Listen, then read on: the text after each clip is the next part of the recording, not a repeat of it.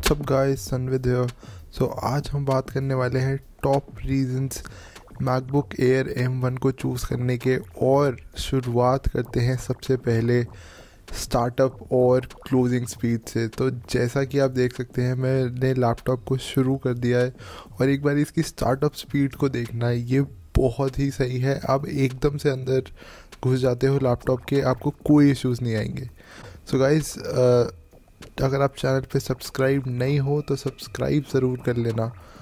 क्योंकि गाइज़ मैं देखता हूँ बहुत सारे लोग जो मेरे व्यूअर्स हैं, वो मेरे चैनल पे एक्चुअली सब्सक्राइब नहीं है। सो आपको नोटिफिकेशन नहीं मिलेगी जब भी मैं कोई नई वीडियो बनाऊँगा।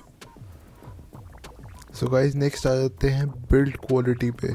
मेरे घर में तीन और लैपटॉप्स पड़े हैं और ऐसी बिल्ड क्वालिटी मतलब किसी में भी नहीं है।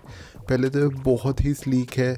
ये एक हैंड से इसकी स्क्रीन लिफ्ट अप हो जाती है। सो जो मकैनिज़म्स हैं और जो बिल्ड क्वालिटी बनाई है, वो बिल्कुल एक्सेप्शनल है। आपको शायद इससे बढ़िया बिल्ड क्वालिटी किसी में नहीं मिलेगी।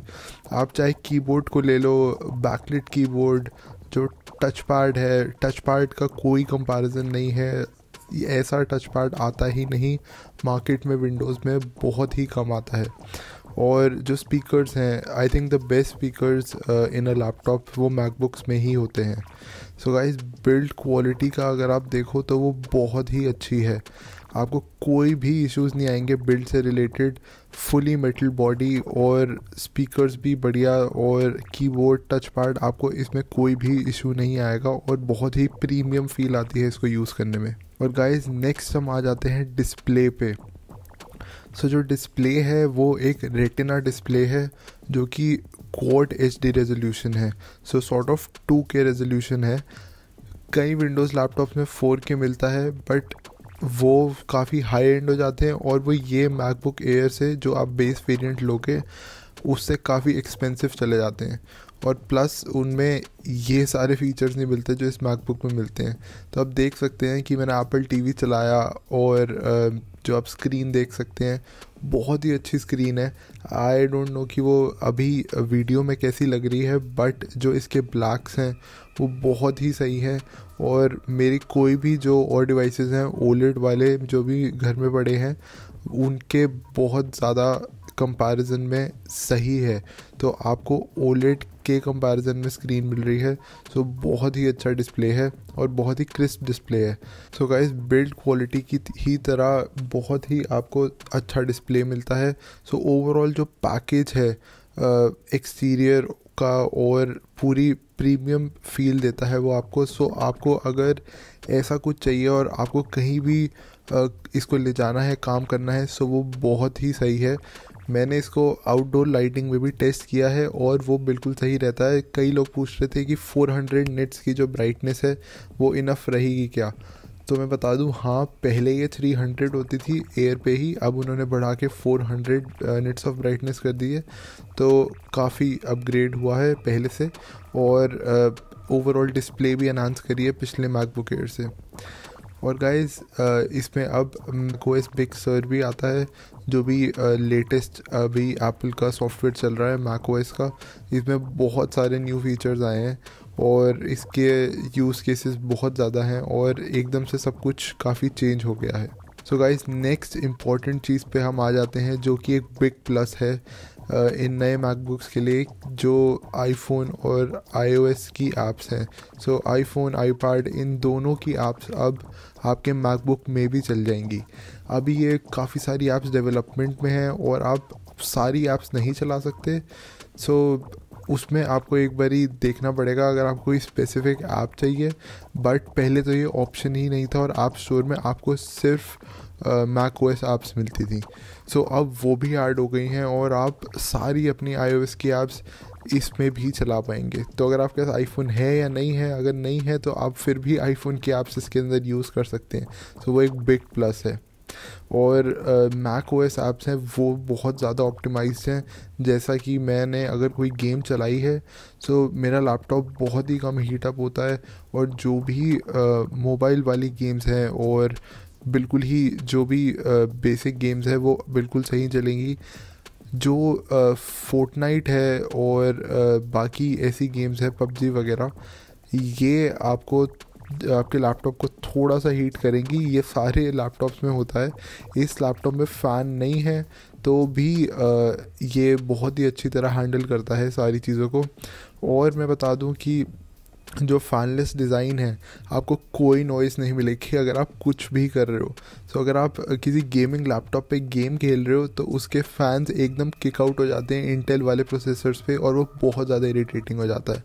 तो इस बात को भी एक बार फैक्टर करना अगर आपको एक साइलेंट लैपटॉप चाहिए जो जनरली कोल्ड रहता है अनलेस आप गेमिंग ना कर रहे हो सो so, वो बहुत ही अच्छी डील है। और गाइस शायद ये पहली बार ही हुआ है कि कोई लैपटॉप आया हो जिसके अंदर फ़ैन ना हो और वो ऐसा परफॉर्म कर रहा हो। अगर आप इंटेल का आई थ्री लगा दें इस फैनलेस डिज़ाइन में, वो बिल्कुल ही थ्रॉटल करना शुरू हो जाता है। जो पिछला मैकबुक एयर था, उसमें आई थ्री जो था, वो ही थ्रॉटल करता था तो आई फाइव और आई सेवन तो बिल्कुल ही डिफरेंट लीक हो गई। गाइस अब नेक्स्ट आएँगे हम परफॉर्मेंस के ऊपर। सो so, जो कंपैरिजन एप्पल ने दिया था थ्री एंड हाफ़ टाइम्स वाला अगर आप उनकी वेबसाइट पर जाएँ तो वो उन्होंने आई सेवन से कर रखा है जो मैकबुक एयर में है। सो so, जो पिछली मैकबुक थी उसमें अगर आप कुछ भी चलाते थे तो वो थ्रॉटल करता था। और ये उसकी बहुत ही बड़ी लिमिटेशन थी।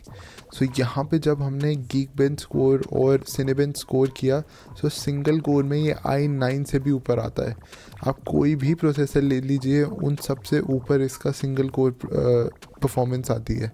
सो so, जो सिंगल कोर परफॉर्मेंस है वो 1700 है आई नाइन की 1100 आती है। सो so गाइस कोई भी टास्क जो सिंगल कोर पे डिपेंडेंट है जैसे जो सफारी पे आप चीज़ें ब्राउज़ करेंगे या कुछ भी बेसिक टास्क करेंगे वो बहुत ही स्नैपी होते हैं। सो so, उस चीज़ को भी फैक्टर इन करना अगर आप एक डेली यूज़ के लिए ले रहे हैं तो ये बहुत ही अच्छा है।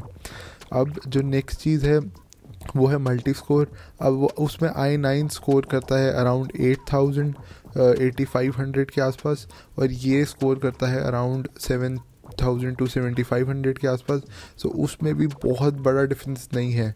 और जो मैकबुक आई नाइन वाला है उसके अंदर फैंस लगे हुए हैं। वो two point two five lakhs का आता है और ये नाइन्टी थ्री थाउज़ेंड का है विदाउट अ फ़ैन और ये ऐसी परफॉर्मेंस दे रहा है आपको। सो so, अगर आप वैल्यू फॉर मनी देखें सो ये बहुत ही अच्छी बाय होगी आपके लिए। और ये एक और रीज़न है इसको बाय करने का कि ये बहुत ही वैल्यू फॉर मनी और अब हम इस लैपटॉप को हाईली रिकमेंडेड में डाल सकते हैं, क्योंकि अब ये बहुत ही ज़्यादा बैंक फॉर योर बक देगा। पहले ऐसा नहीं था, पहले भी मैकबुक्स अच्छे चलते थे क्योंकि सॉफ्टवेयर ऑप्टिमाइजेशन थी, पर इतने अच्छे नहीं चलते थे क्योंकि उसमें इंटेल के प्रोसेसर्स थे और वो हीट होते थे और फैंस किकिंग होते थे और आपको फैंस की बहुत ज़्यादा आवाज़ आती थी। अब ऐसा नहीं है, अब बिल्कुल चीज़ें चेंज हो गई हैं। मैंने जितना भी लैपटॉप यूज़ किया है हल्का सा वॉर्म होता है जब आप वीडियो एडिटिंग कर रहे होते हैं। बेसिक वीडियो एडिटिंग की मैं बात कर रहा हूँ। और जब आप गेम्स खेल रहे होते हैं तब हॉट होना शुरू हो जाता है। बट मैक्स जनरली गेम्स खेलने के लिए नहीं होता। और अगर आप खेल भी रहे हैं तो फ्रेम ड्रॉप्स मैंने इतने नहीं देखे हॉट होने पर भी। सो so, अगर uh, आपको लगता है कि ये थ्रॉटल होगा तो भी उसमें इतना बड़ा कोई इशू नहीं आएगा। वो एक सिक्स थाउज़ेंड वाली रेंज में अपने स्कोर पे गीक बेंच वाले पे जाके रुक जाता है और उतनी परफॉर्मेंस तो देता ही है। आ जाते हैं हम फिंगरप्रिंट रीडर पे। तो जो फिंगरप्रिंट रीडर है, वो बहुत ही स्नैपी है और अगेन आप एकदम से लैपटॉप के अंदर साइन इन कर पाओगे ईजिली और उसके साथ ही जो कनेक्टिविटी है वो भी बहुत अच्छी है मैकबुक्स में। अगर आपके पास एप्पल का कोई भी डिवाइस है सो मैकबुक लेना हाईली रिकमेंडेड है। मेरे को पर्सनली ऑप्टिमाइजेशन और इकोसिस्टम एप्पल का काफ़ी अच्छा लगता है। सो so, अगर आप ऐसा कुछ कर रहे हैं आपके पास एयरपॉड्स हैं आईफोन है तो भी ये बहुत ही अच्छी डील हो सकती है। फिर तो शायद आपको विंडोज़ के बारे में सोचना भी नहीं चाहिए। गाइस नेक्स्ट आ जाते हैं हम बैटरी लाइफ पे।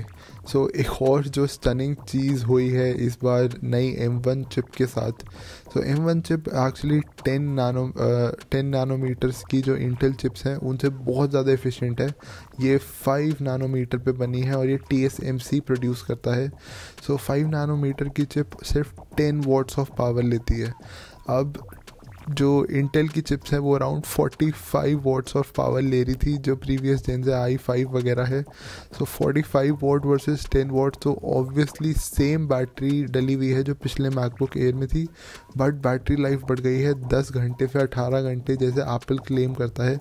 बट मेरे पर्सनल एक्सपीरियंस में अगर आप हेवी यूज़ करते हैं तो भी आपको ये एक दिन चल जाएगा। मैंने इसमें वीडियो एडिटिंग करी थी और बहुत सारी चीज़ें खोली थी और मैंने एक स्ट्रेस टेस्ट किया था।